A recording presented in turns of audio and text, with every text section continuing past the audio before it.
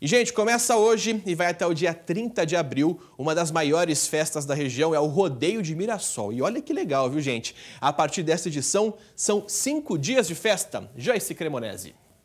Isso mesmo, Casa Grande. Esse ano o evento promete movimentar a região com shows como Maiara e Maraísa, Bruno Marrone, Chitãozinho e Chororó. Eu vou conversar com o Felipe Risse, que é o organizador do evento. Bom, Felipe, o que o público pode esperar esse ano de novidade? Oi Joyce, oi SBT, oi pessoal de casa. Pois é, chegamos mais um ano do Rodeio de Mirassol. É, esse ano a gente tem uma capacidade maior, aumentamos a estrutura de camarote, aumentamos a estrutura de área VIP para poder comportar é, com melhor qualidade né, o público.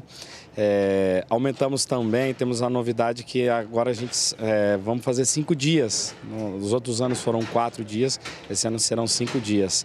E também teremos um dia solidário que vai estar tá ajudando entidades de Mirassol mesmo.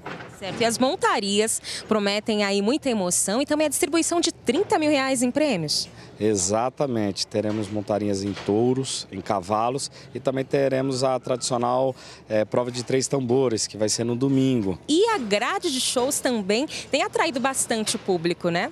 Exatamente. É, na segunda-feira vamos fazer o Dia Solidário. Com os shows é um projeto, né, que ele chama Projeto Brutos de Verdade, que é o João Carreiro e o Jades Jadson. Eles fazem os, os shows, os três juntos em cima do palco. Tá ok, Felipe. Obrigada pelas informações. E quem quiser aí adquirir os ingressos e também mais informações sobre o evento, é só entrar em contato pelo telefone 99725 2630. Casa Grande. Tá certo, Joyce. Legal, viu? Um recado interessante aí para quem está na região. Só showzaço. Estrutura de primeiríssima qualidade, vale a pena acompanhar.